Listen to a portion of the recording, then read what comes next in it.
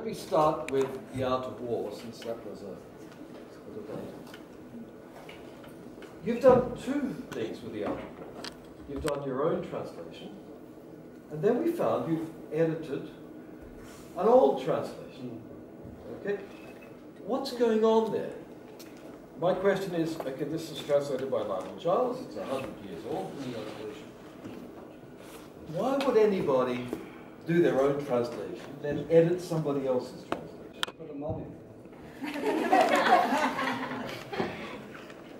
There are no rules. Well, it's there are no, that's a rule. It's an economic marketplace. There are rules of the market.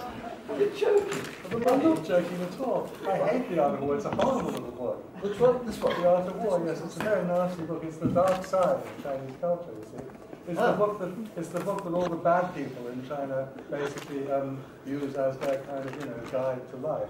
I mean, people like Xi Jinping would have read it from cover to Oh, cover. Mao Zedong, yeah. Chapter yeah. 13 on espionage. Have a look at it. you know, sure, yeah. And all that stuff. It is the it is the unspoken um, underlying dynamic of, of Chinese society since two, 2,500 years ago. So it's fascinating, but it's really nasty. And if you if you read the introduction to my translation, I say um, that it should be read very critically and with you know with, with, with great care because it's a very very insidious little book. But you see, to go back to your question, why? Why? I was I was on a plane from Adelaide to Canberra with a gentleman called Roger Ames who who had translated this book himself. And his approach to translation was completely different from mine. But you know, we had spent a very nice week in Adelaide and we were chatting on the plane. And I said to Roger, um, oh, they've asked me to do the art of war. What do you think I should do? And he said, John, you've got to do it because he'll earn money. Because his translation, he said, earned him 25,000 US dollars a year. I mean, this is the real world. Okay, how much money do you get? well, we had a, a debate last week about literary translation. The poor old Harry Aveling was saying, mm. don't go into literary translation, mm. you make no money. Mm. Tell us. No, literary translation is absolutely, um, it's a, the worst possible option in terms of your professional life. But the one exception to that in my life has been the art of war. Like the very How much? Look, I'm not giving you I'm someone from the Australian Taxation Office. I mean, the first royalty check I got, I bought a grand piano. Does that give you some idea? Uh, Okay, I'll tell you how much the grand piano cost. I'm not saying it's identical. Okay. It cost 12,000 euros, okay? Alright. And that was a six-month royalty statement. uh, And it's more or less... so you like the other guy? Very recommended close, you do the very close, yeah. Okay. And so I did it. And then, of course, um, it, it sort of got onto the market and people read it. And, um, and these people, they're, they're, they're a company called Tuttle.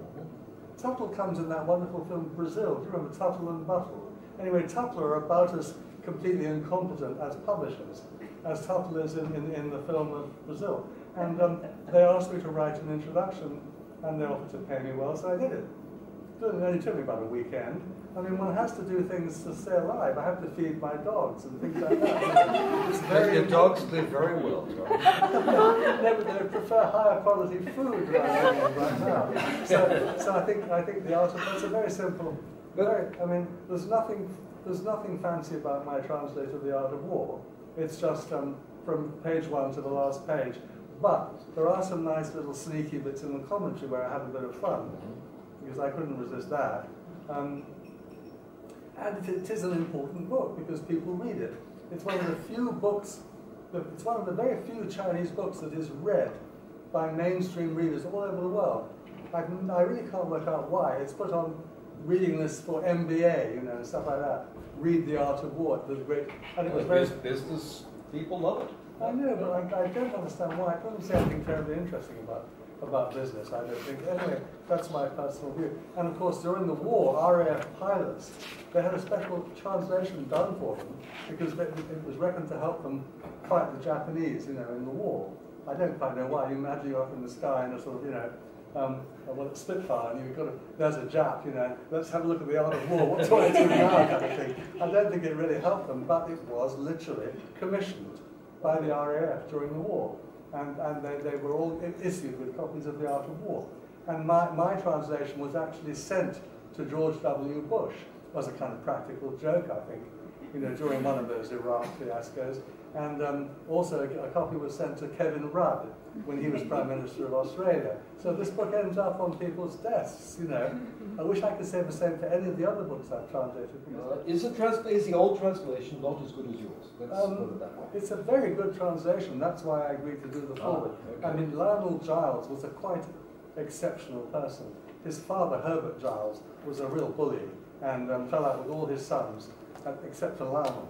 And Lionel ended up working in the British Museum and was actually probably a better scholar than his father and did a lot of his father's work for him.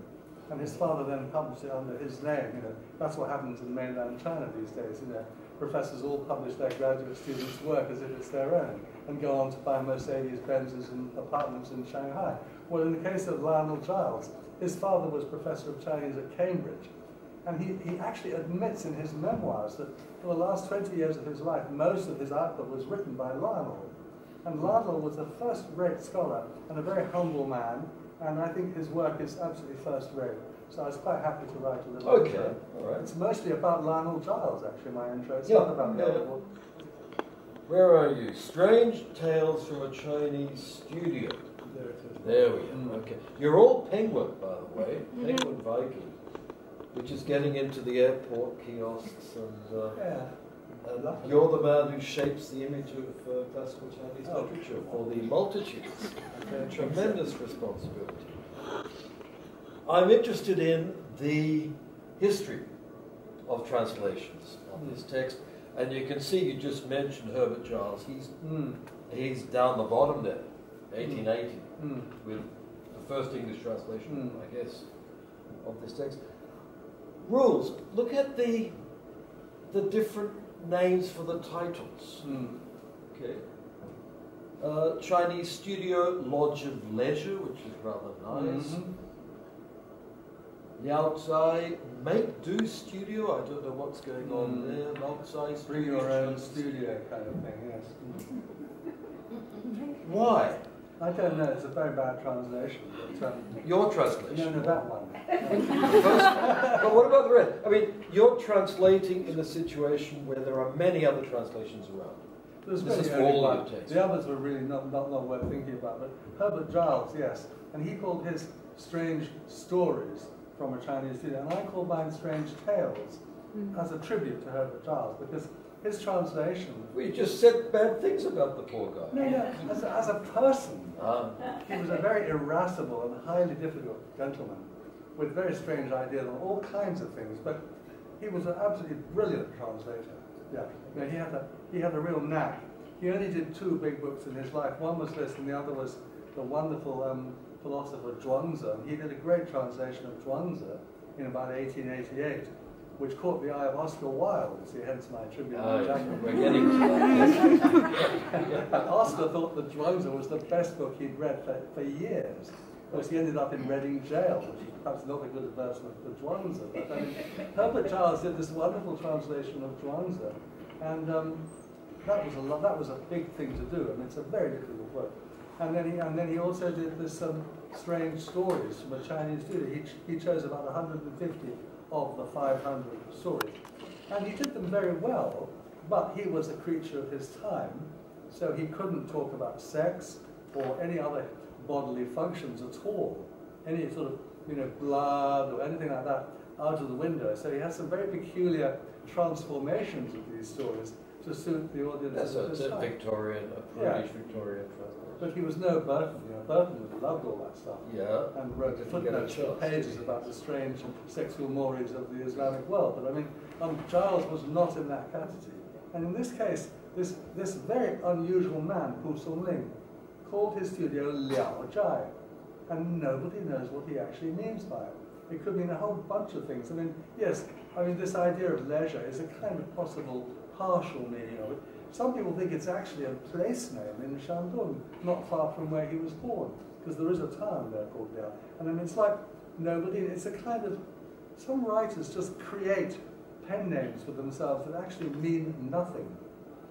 A famous case in, in, in, uh, of that is the Hong Kong writer P.K. Leung, who called himself in Chinese Ye Si, or in Cantonese Ya Si. And, you know, for years, rumors spread about why he called himself that. And people said, oh, it's to do with the rock band. Yes, because he was, he was he lived during the 60s and 70s, and other people thought it was a reference to some classical text. It turns out that it was just two meaningless words that he picked at random from a dictionary because he wanted to have a meaningless pen name because all his friends were calling themselves, you know, the wanderer of the pink bamboo couch or something. They all gave themselves fancy names. So he called himself something completely nonsensical in Chinese.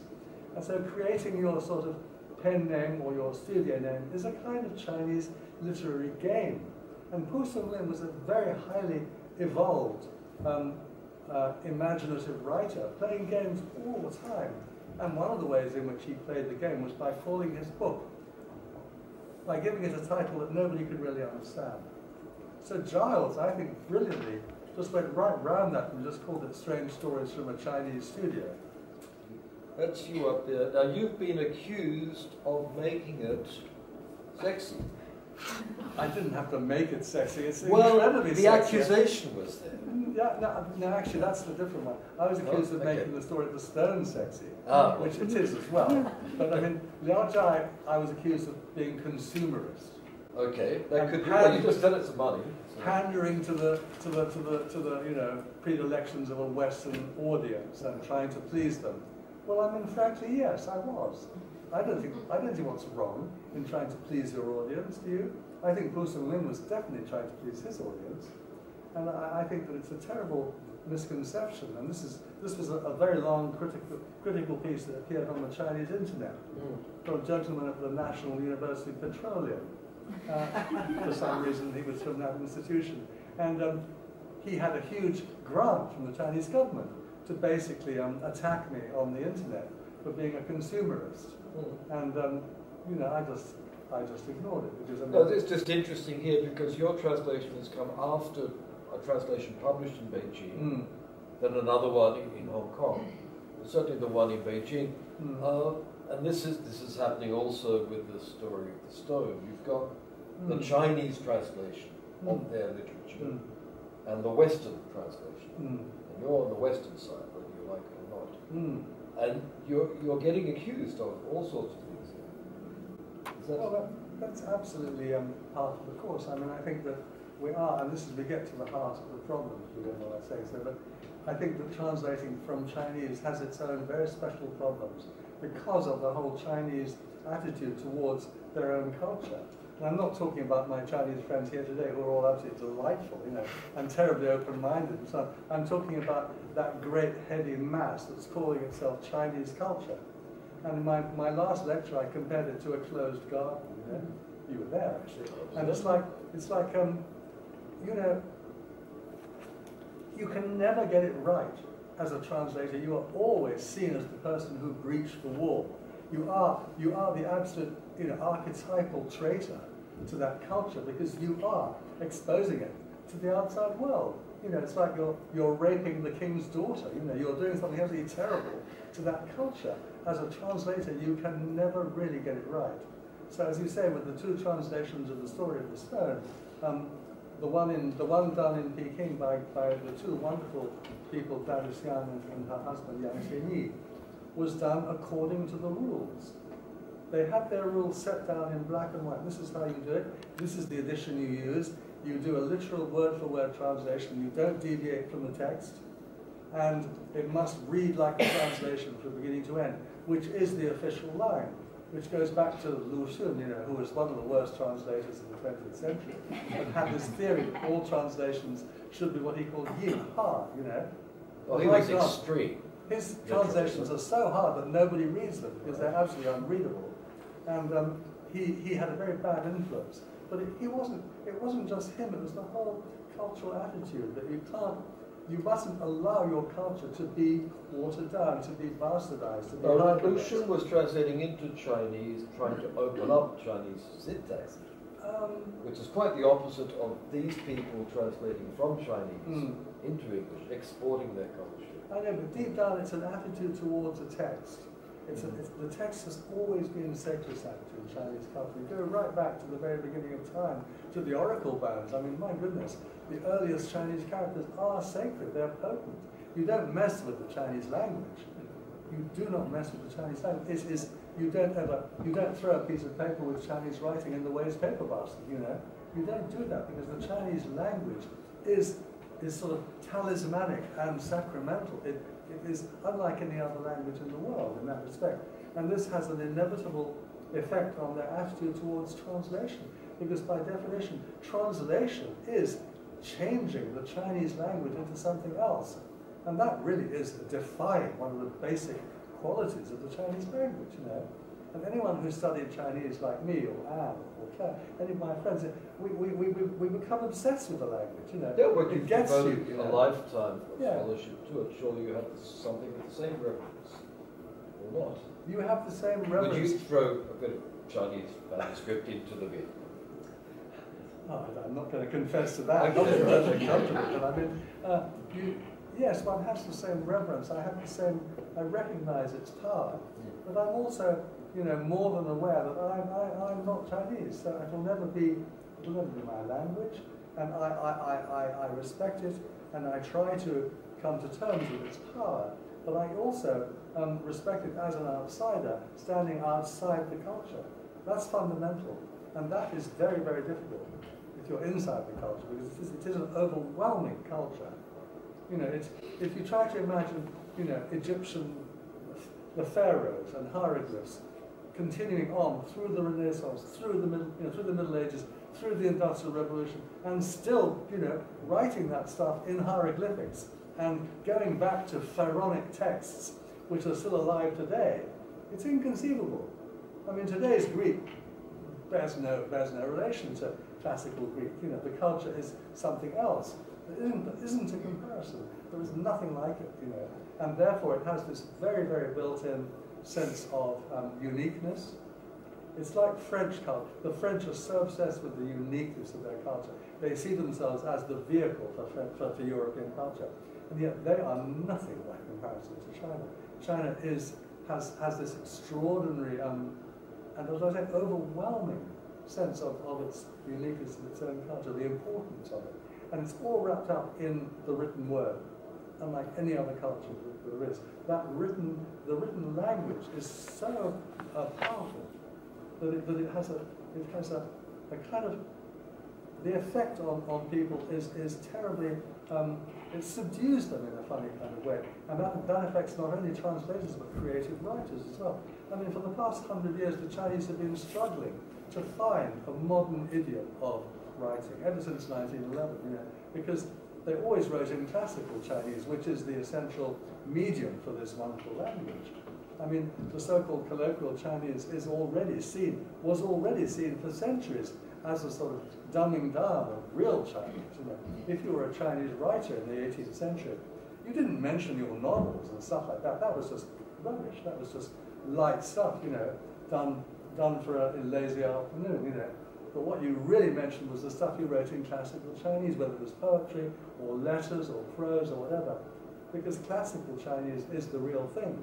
And even today, even today, there's something about as as the Chinese creative writers struggle to find a way to, to make Chinese a modern language, because it, it's essentially not. And, and, and this affects their whole attitude to translation. And it makes life very, very difficult for translators, I have to say. Anyway, I want to go on to practical things, okay, uh, for translators and would-be translators. When you're working on a text, and yet there are other translations around you, do you look at the other translations?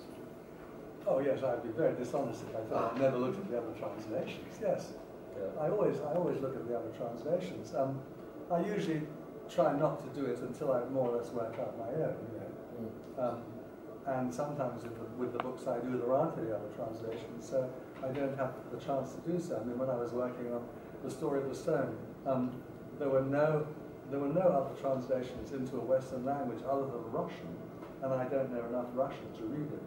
So it was only after I finished mine that um, Yang Xianyi very kindly gave me a copy of his translation, and I could then use his translation to compare. to compare to make sure I hadn't made any terrible howlers, you know. But on the whole, I don't look at other translations. But you're working on texts that are quite difficult in the hermeneutic demand. I mean, you have to construe meaning from quite implicit relationships. as far as Yeah. understand. You're guessing. Um, I don't think that's quite the same as uh, construing meaning from. Well- I mean, I, I, yeah, one, one is guessing. I mean, take the I Ching for example. I mean, you're guessing all the time. Okay. All the time. Anyone who thinks they know what that book means is lying. You know, it's, it's absolutely incomprehensible. And all the Don't translations. tell them nobody's going to buy the book now. I say so in the introduction, so um, it's nothing new. But I mean, uh, you know, it, it is it is guessing. Yes, you are you are sort of catching you know um, something in the air. Let's go to it. This is the I Ching. Hmm. Okay. Transla- no, what is it? The essential translation. What Well, that's the publisher. essential translation. That's the publisher. I can't control my publishers. John was guessing. It's the essential translation. okay. You know, they they use words like that, like. The acclaimed stuff. Well, who acclaimed it? I didn't see anyone acclaiming anything. You won a prize with it. Oh, Come was on. later, yes. Yeah. Now, I've I've got some questions about this. Um, before I came here, I visited John, and we did it through That's the right, coins. Remember, he's got three Mm. coins which you have to do, and it goes to the hexagram, and Mm. John interpreted Was it. that in my flat in St. Helens? It was there, Yeah, yes. yeah, just- In just- August last year, yeah. Right, so, so this book is, is responsible for me being Oh, here. yes. I faked the whole You thing. think the whole thing, that's why I'm here. I was under instructions from a higher level to fake it so that you would come, you see.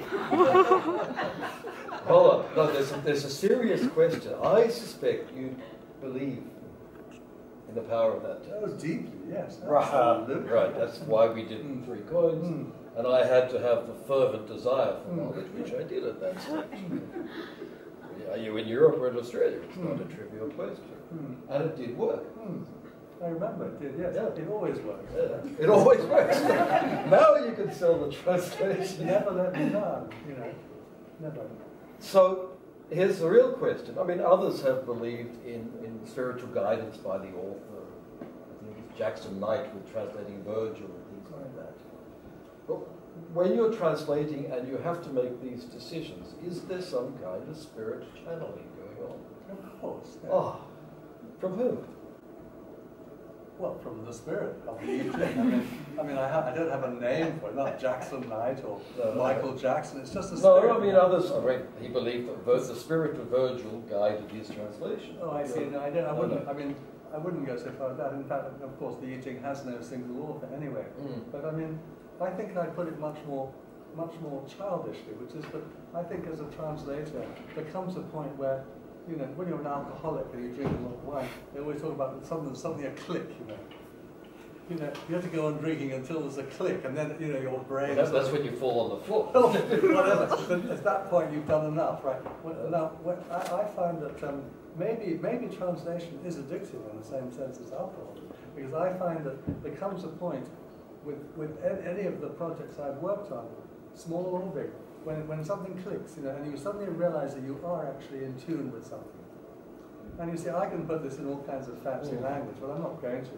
I could say it's to do with the Tao. You know, the Tao comes before words, before things split into the yin and the yang. There was just the Tao, you know. And if you go through the yin, through words and the yin and the yang, eventually you'll get to the Tao. That's a load of codswallop, you know. I mean, I'm, You're going to sell about- the book, John. no, but I mean, I do. I am being truthful when I say that there is a moment when you when something clicks, and I could I could talk about it in relation to the strange tales, for example. I spent years um, trying to work out what the hell was going on in those stories. I don't mean the, the, the plot outline, but what the author was on about. You know, what was his kind of um, write these weird stories? What was he doing, you know? And what was the key to it? Because you read all these commentaries and, and they don't seem to be helpful at all. And there was, a, there was a particular moment when I suddenly realized what he was doing. And no one I've ever read had ever had the same understanding which is that he's having fun. You know, he's a very mischievous person. And he's, every, each one of his stories may have 15, 20, 100 allusions to the classics because the poor guy spent his life trying to take the exams and failing. So he had to memorize all these classical texts, you know, some of them quite long. And he had them all up here. And every time he failed, he went home and, you know, started all over again. He would have given up, you know, but he didn't. And so we had all this stuff. And then he wrote these stories, and in the most wonderful way, he, he took the mickey out of all the classics. You know, I could give you some examples, but it's not really the right time. But I mean, I realized suddenly one day, my God, this guy's having fun at the expense of his entire classical Mhm. exam education. And once I realized that, everything just fell into place. And you know, it's like looking for mushrooms. You, you look for the first five, and then you see the next ring. And once you've had enough mushrooms, you see the whole forest of mushrooms. I'm not talking about ordinary mushrooms either. The thing is, you know, it's, it's like the same with, with Coulson Ring. Once you, once you get what he's trying to do, it all makes sense, you know. And I think that's... Okay, but how do you map that on to Western culture? How do I map And what struck me is looking at the translations, the first is the degree of Latin that now you want to sneak ask in. about the Latin. Well, if he's playing with his classical culture, you're playing with ours, sure. Why, why is it, this is the beginning. You were talking about the I Ching, or you were talking about the... Well, both, but, but it, it, it occurs in the, the strange No, oh, I tales. don't use Latin. Well, why would I you say for the first homunculus homo- and then That's a good chemical homo, yeah, well, inner elixir of immortality. Yeah. It's medieval, Western medieval references. Okay. I'm not allowed to do that. No, you're allowed to do that. You're allowed to do that. But is that related to him? I mean, you can't tell us in your translation the classical text that he's writing against. You can't explain his allusions, sure, No, without that- whole. that- that's not a case of him writing against classical text. That's just a case of trying to tell the reader that Chinese alchemy is not that different from Yes. Western alchemy. Okay. Right? Because I think, to go back to the whole thing, I think translators basically do rely on some kind of universality of the human heart and mind. You know, if we didn't, we might as well give up. You know, we have to basically work on the assumption that people are people and dogs are dogs. And I don't translate for dogs, you know. I translate for human beings. And they might be English or Chinese or French or whatever. And therefore, what I'm saying there is that, you know, um, to understand the story, just imagine that these Chinese alchemists are a bit like, you know, Yeah. um, Western alchemists of, of the Middle Ages, yes. That's You've con- consciously inserted that. Yeah. of- It's what in my lectures I call cultural sleight of hand. Indeed. You know. And here's another one. Uh, this is now in the I Ching. You do it all the time through the translation. You're sneaking in a bit of Latin. Hmm. It's like Harry Potter, isn't it? Curriculum. I've never read Harry Potter. Well, they do it. They have Latin for their magic spells. absolutely, yes. Well, I- I'm very happy to explain exactly Yes, what I'm trying to do, do there, because do. it's very specific. Um, you see, it goes back to what I was saying. The I Ching is the most wonderful book, but nobody really knows what it means, right? And they tend to sort of mumble it, you know, as if they do. And then, because it is incredibly powerful, despite the fact they don't know what it means, it tells them stuff, right? So it's got this kind of mumbo jumbo sort of quality to it. And people, a lot of people know little phrases from the I Ching without really knowing what they mean, okay? And they're sort of part of the, they're part of the common heritage of the Chinese people. And it goes right back, you know, 2,000, 3,000 years. It's terribly ancient. Now, how the hell do you get that across? And I had this idea once, I don't know if you've seen the movie, The, the, um, the Name of the Rose, right? Do you remember the character in that called Salvatore, the heretic, who wanders around that monastery saying, you know, penitenziagite, you know, Draco in cielo, bella," and he's, he's speaking a mixture of Provençal and Latin, and it's all half-remembered heretical stuff, right? And he has no idea what it means, but he's the sort of crazed heretic in that in the book by, by, by Eco and also in the movie. And he's very, very good. And then I thought to myself, what I'll do is I'll just occasionally, I mean not very often, occasionally pop in a little bit of I mean Latin Latin is, is, is the perfect vehicle for just insinuating to my reader, oh by the way, this is partly wonderful stuff and incredibly powerful to I've said all that. It's also mumbo jumbo, you know. I mean, sort of, if you just say the Draco volant in cielo, mumbo jumbo, bumbo bumbo, you're kind of getting a certain level of the I Ching, which is very true, true to what it is, you know. Because you, you know, I, I, I've given talks in Shanghai and Peking about the I Ching, and my, my, my audience come up to me afterwards and say, we much rather read the I Ching in your English translation than read it in Chinese, because we have no idea what it means. You see what I mean? And yet they want to read it because because it's everyone. It is the number one classic. It is of all the classics, it's always called the first classic, and it's neither Taoist nor Confucian nor Buddhist or anything. It's just, it is the most peculiar book ever, and yet it works, and yet it's it's read even today. New new editions come out ten or twenty a year a, a year purporting to have a new understanding of the I Ching, how the I Ching explains quantum physics or DNA or whatever, you know, you mentioned it. Um, uh, the internal combustion engine, it's all there. Because basically there's nothing there, you see. And if there's nothing there, you can put anything you like into it. It's the most wonderful empty space at the heart of Chinese culture. It's an empty space. And that's what's so perfect about it, is that generation after generation put into that empty space whatever they wanted to. And in, in the Song dynasty, it was the Neo-Confucians, they had their stuff to put in there. And there were, there were Taoists in the 18th century, there were these wonderful Taoist monks who put stuff in there. So I'm putting stuff in there myself. Well, there I would imagine you're being quite literal. I mean, if you've got an inc- the incantational text, Oh yeah. the basic strategy is go word for word as much as you can and write Latin, uh, put danger into Latin? Mm. And that need not be too complicated as long as it sounds poetic. But then we've got all these commentaries. Oh yes. And where do these commentaries come from? Is that you or your copying? I do spell it out in, in great detail in, in my um, introduction. I use, I use um, one main commentary, it's an 18th century Taoist commentary, which I like very much. and then I use various others as well. I, and I put together a sort of, um, uh, a sort of um, running commentary of my own, composed of these. Yes. And I, I, in order to not to confuse my reader, I've put the exact sources of everything in, in a, in a online, on my website in 70 pages of references so that people, if they want to, can follow these up, can go to Liu Yiming or, you know, Zhu Xi or whoever it is, because otherwise I feel I'm cheating, you know.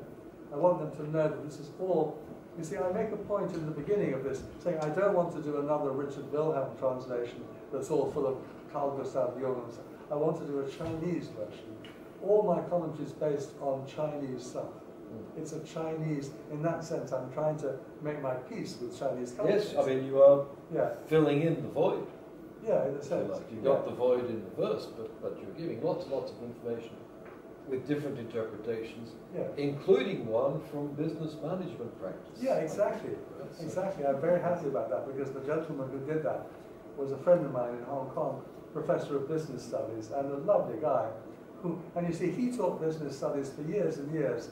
In fact, he founded the business school at the Chinese University. And then quite late on, an American student of his said, had he read the I Ching, which is not how you pronounce it. But anyway, and he said, no, I hadn't. He hadn't read it, although he was Chinese. So he, and this American said, you better go and read the I Ching because it'll tell you all about business. So Professor Moon, the same name as mine, Min, he went home and read the, read the I Ching, and he was absolutely astonished by what a wonderful book it was in terms of making decisions about life, and therefore, of course, about business. It's far better than The Art of War, much better, a much more useful book than The Art mainly because it says such sensible things like, hold on a minute, don't go rushing into a decision, think very hard about the consequences. And then it, it is right to see a great man, you know. That means go and ask someone for advice. Don't just rely on your own impulsive, you know, decision-making process. Think very hard, and, and also it's always saying you don't realize how complicated your situation is. Open the window, open the door. There's stuff going on out there that you really need to, in order to process all the different inputs.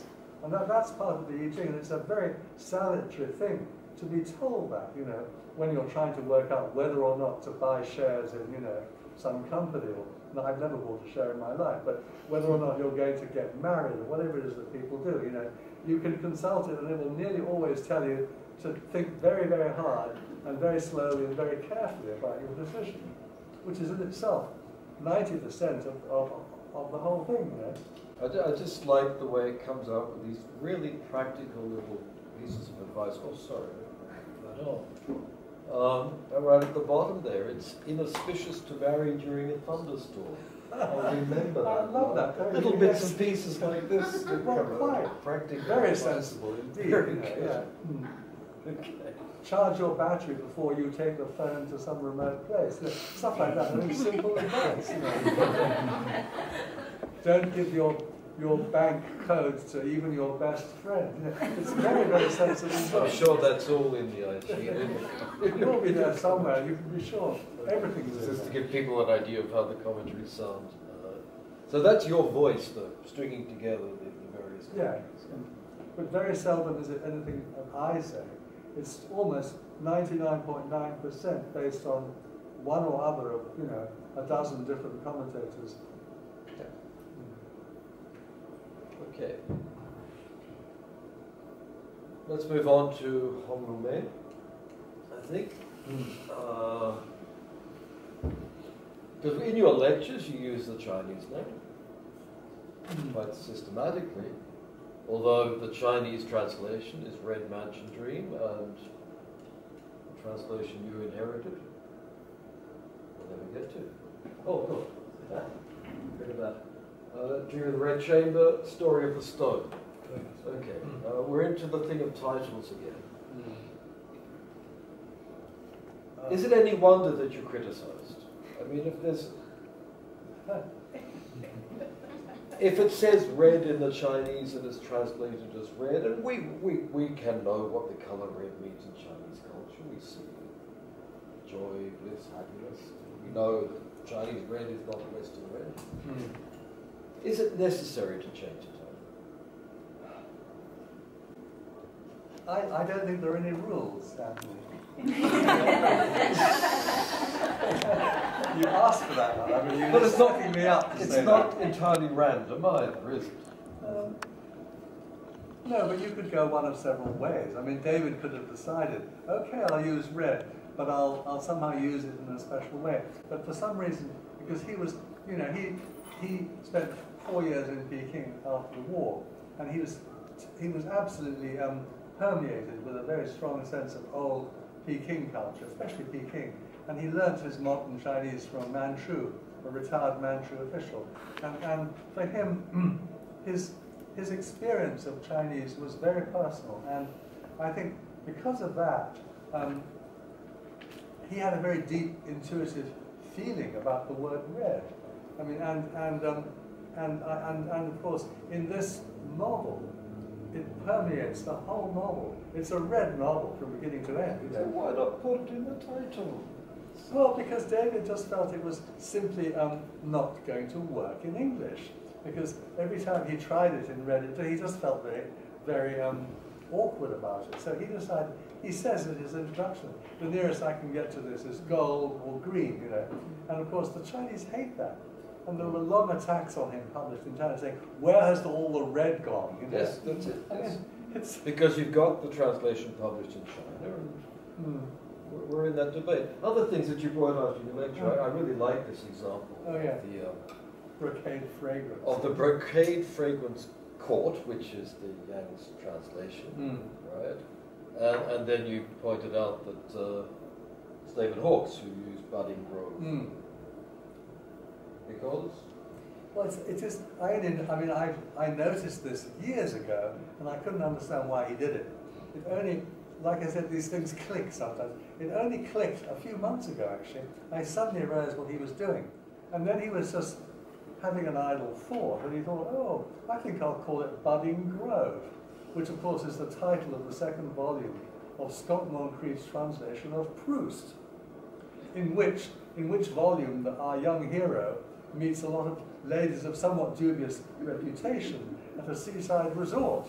And, and if you look at the um, movie of it, they're mostly wearing very few clothes and lying on the beach and looking rather gorgeous. And it's all about the, our young hero entering the demi-monde of the French kind of, you know, yeah, so, so just that selection Hmm. maps an entire experience onto a Western experience. Yeah, I'm not sure about this mapping thing, but you're, you're obviously keen on it. Well, evokes yeah, the whatever. yeah. Experience like- within this. Well, yes, and novel. Oh. he's, it, it's very clever, and he does it all the time because he's a master of this. But it's also westernizing the novel.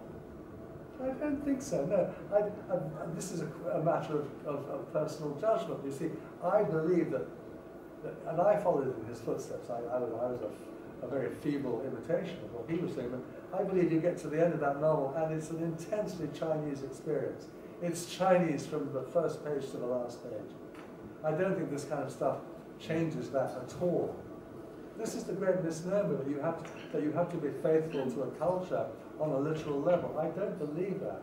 I believe what he's done here is, is going to win him brownie points in heaven, you know.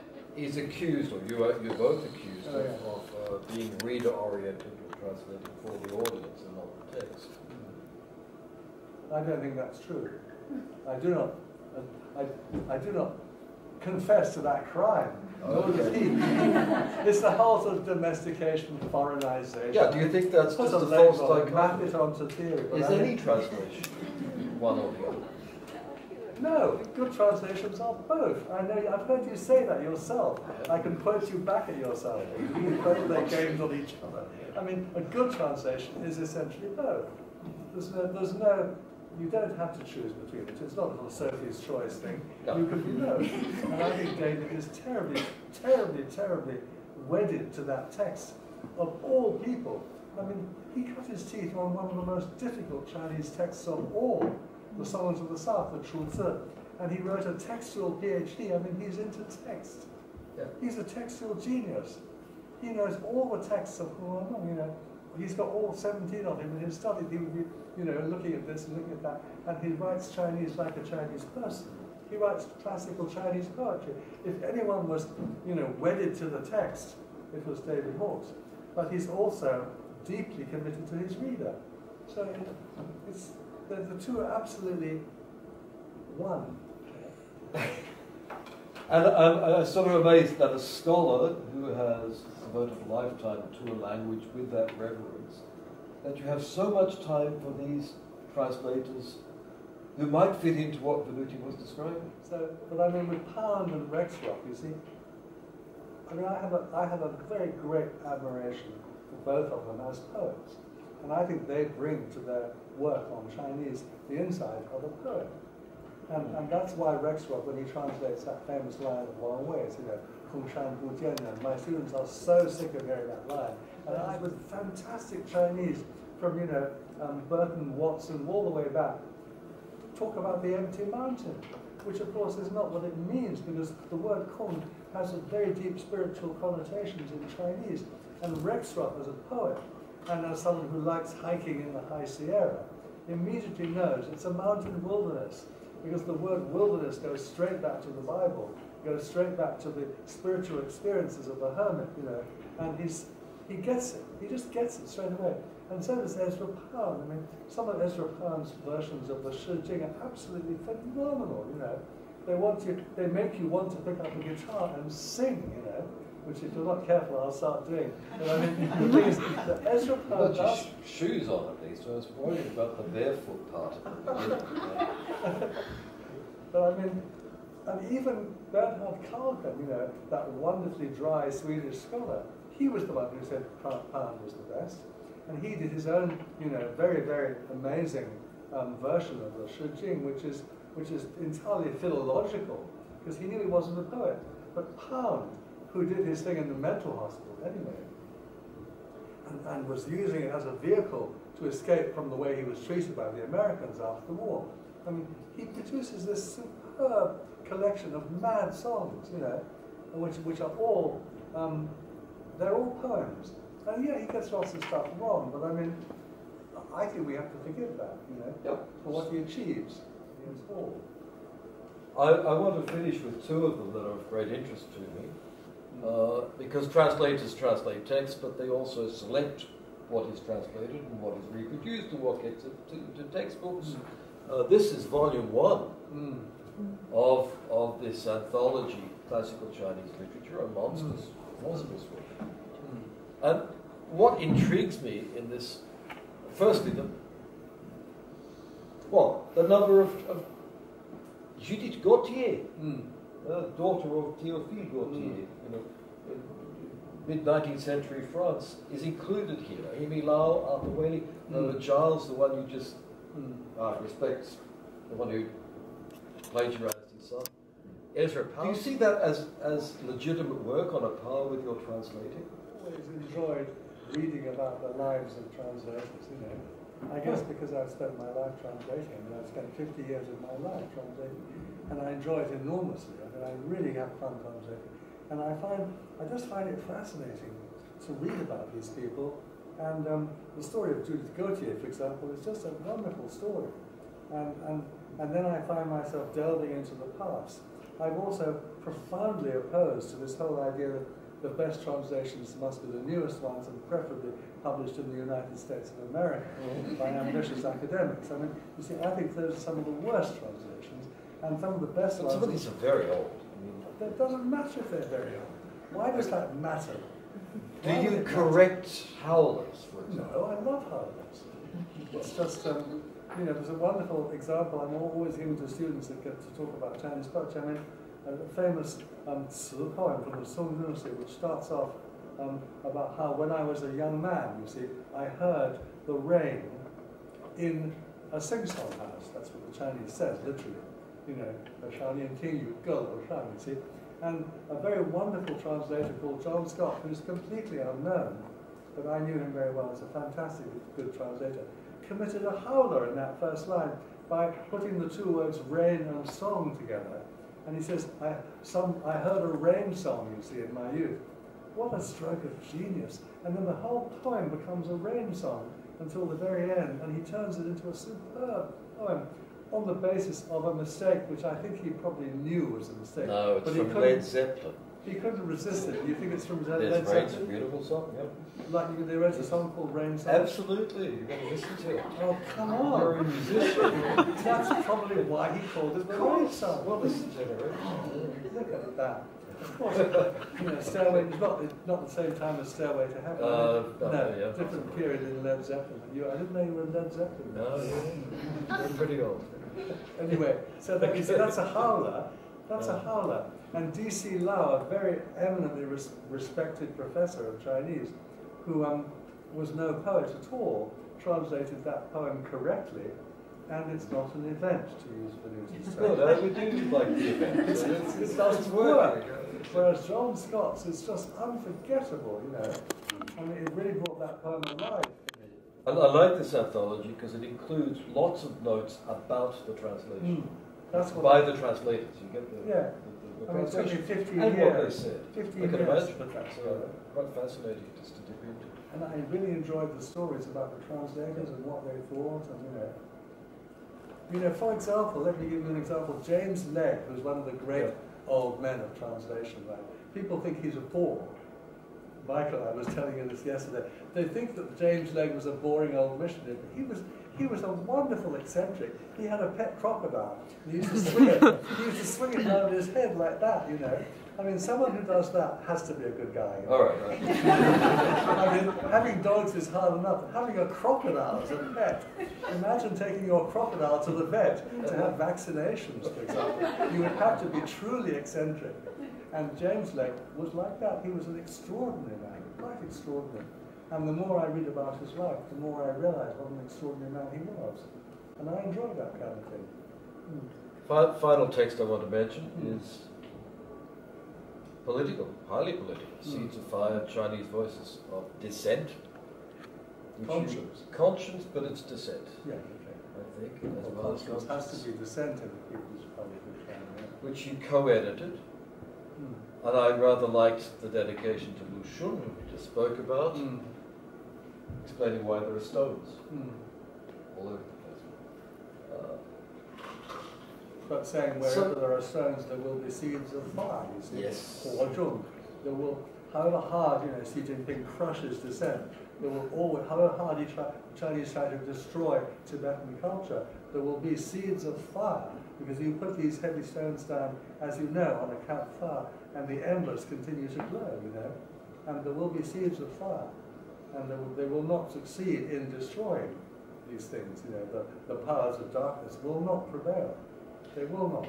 You don't pull many punch, punches with respect to um, the politics, current politics of China. Should I? it's not for me to say. Okay, uh, but this, I, look, I don't know. I think these texts are translated. It's another. There are lots and lots of people in there translating. It is a selection of translations, although it doesn't advertise. In fact, it's in the notes at the back. Uh, is part of that in all the translations. I mean, when we decide what gets translated, we are conveying an image of a culture. Um, I think every translation belongs to its time, and that was a product of the mid 1980s. And I happened to be in Hong Kong, and I happened to be able to invite my friend Geremie Barmé to come and spend a year. And we happened to have a friend called Ian Buruma, who was the editor of the Far Eastern Economic Review literature section, and he was the one who commissioned that book mm-hmm. because there was this extraordinary ferment of new writing coming out of China, new writing, new art, new film, new everything, you know. It was a wonderful time, you know, as Wordsworth said, to be alive, you know, in those days. It was fantastic, you know. The 85, 86, and then came the campaign against what they call spiritual pollution, and then came the massacre of Tiananmen, you know. And so that book became, was actually described as being prophetic. It wasn't prophetic in the sense that it didn't talk about sending the tanks in, but it did talk about the, the incredible opposition already there in the mid-80s um, from the establishment who tried to denounce these young writers in different ways in the official party journals.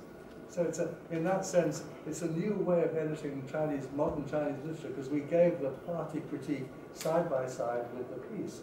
And in fact, the, the, the then Minister of Culture, a gentleman called Wang Meng, uh, Wang Meng was the Wenhua Buzhang, and I met him once, uh, I looked after him for the day in New Zealand, and we had lunch together. And he, he talked about this book because it was quite notorious at the time. and he described, he said, of course, your editorial method is what he called Fangaming Genjifa, right? counter-revolutionary editorial method, right? Which of course it was. It was profoundly um, subversive. And I think, I think in the context of, of China, ever since 1989, for me 1989 was a turning point. I, after 1989, I ceased to engage with China today because I could see which direction it was going in, and it hasn't changed ever since. And we are now actually going through the worst period since 1989, when in 1989, um, the old men who ran China basically ganged together to say no to forces that were trying to open China up to the world, that were trying to introduce basically glasnost, you know, and perestroika. That was why, you know, when, when, when Gorbachev came to Peking, they could see the writing on the wall. My God, you know, the Chinese Communist Party will lose power if we allow this to happen, if we allow these young people. And, you know, two million people in Peking were in the streets, you know. I mean, it was the most wonderful moment. I mean, in May, April, May of 1989, all of us around the world, we couldn't believe our eyes and our ears, you know, but we also had a terrible premonition that it was going to end badly. I mean, I said on the radio in February 1989, this will not end well, there will be blood, you know, and people just laughed. You know, it's like people today saying, you know, um, you know, there will not be a nuclear war as a result of North Korea, and everyone laughed. Of course there won't be. You wait. I mean, I'm not comparing this to that. Have you done the IG? I haven't. No. One doesn't play with the IG. It would be deadly serious. Right. But I mean, and so you see, that book was a, what I'm trying to say is it was a product of its time. You know, mm-hmm. of a moment in time, frozen. We, we, we just Geremie knows the, everybody in China. He could just pick up the phone and talk to you know. Um, Chen Kaige or Zhang Yimou, or these people who became famous film directors were his friends. Gu Changpei, all these people. He had a fantastic range of network, uh, range of contacts in China. And I was the sort of um, stay-at-home editor. I, I, dreamt up the, the format of the book, this so-called Fangaming Genji you this counter-revolutionary method, which was to give a translation of a piece of literature and then give the party response and see who looks better, you know. We know who looks better every time, you know. It's the authors who look better because they're being, they're being creative, they're being imaginative, they're being, um, you know, expressive. And then these old guys get up and denounce them, and it's just, it's just, it does in a sense, it is prophetic in a sense, because the old guys were the ones who won, you know. And we're still paying, paying the price for that today, you know. And, and therefore I think it was, at its time, an important book, and I, I feel very proud to have been involved in that particular book. I've never done anything like it since, but I mean, I'm glad to have done it then, at that moment. You have to seize those opportunities when they come your way. And um, I was in a lucky situation. I was able to put it together and have the resources to do it at that time. The financial resources, the editorial resources, and uh, a colleague like Geremie who was very, very knowledgeable. So at that moment in time, it seemed the right thing to do. I don't know what. Thank you, I, I've, you've answered all my questions very Okay. well. He's retiring.